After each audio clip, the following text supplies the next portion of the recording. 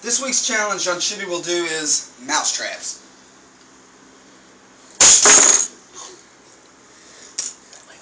That's gonna suck.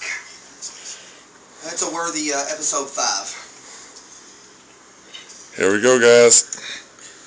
Oh dear God.